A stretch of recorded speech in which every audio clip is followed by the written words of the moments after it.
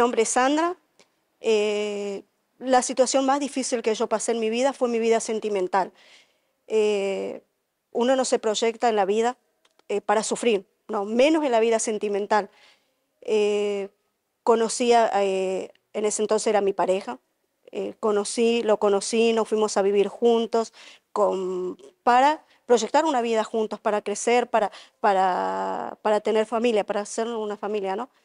Solo que eh, hubo infidelidades antes, de parte mía, de parte de él, ahí comenzó nuestro sufrimiento.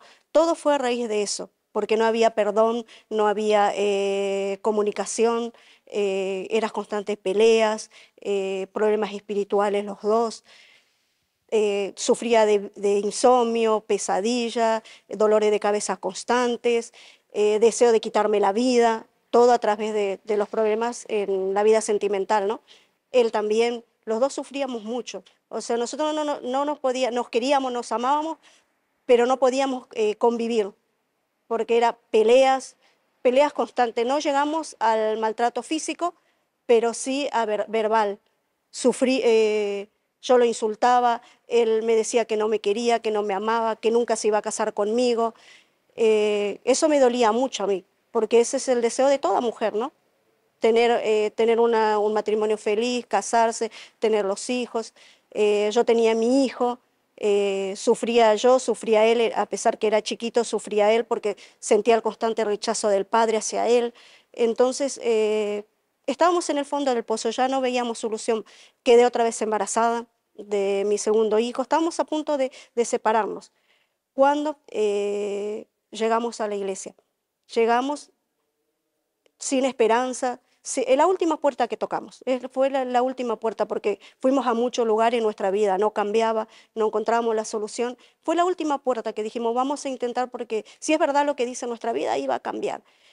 Llegamos el primer día, creo que fueron a, los, a la semana, eh, llegó el santuario. Entré, me sentí, entré al santuario, eh, hice un voto con Dios hicimos un voto con, Dios los dos, por la familia. Dijimos, vamos a hacer por, nosotros, por nuestra familia, porque nuestra vida tiene que cambiar. Si es verdad lo que están diciendo, eh, en el altar nuestra vida va a cambiar. Eh, nosotros llegamos en la miseria total, entonces no teníamos que decir qué vamos a dar a Dios, sino que lo poco que teníamos en entonces que entraban en nuestras manos, eh, hicimos un voto con Dios. Dios me dio fuerza, fui eh, cambiando, ya no le peleaba, ya no le, eh, no le hacía escenas de celos, eh, lo esperaba con mate, lo esperaba bien. Él comenzó a ver la diferencia en mí. Entonces, a través de eso, de ver la diferencia, de haber hecho un voto con Dios, de, de perseverar, de luchar, Él cambió. Y no fueron mucho tiempo, creo que tres meses, porque cuando nació mi bebé, cuando yo volví a casa, Él era otra persona. A partir de ahí nuestra vida comenzó a cambiar todo cambió. Hoy somos felices, nos casamos, que él dijo que nunca se iba a casar conmigo, nos casamos en el altar de Dios, los dos servimos a Dios, eh, luchamos, nuestra vida económica cambió, fuimos curados, fuimos liberados, toda la vida cambió, gracias a Dios. Hoy yo doy gracias a Dios por haber entrado al santuario, porque yo vi mi oportunidad ahí.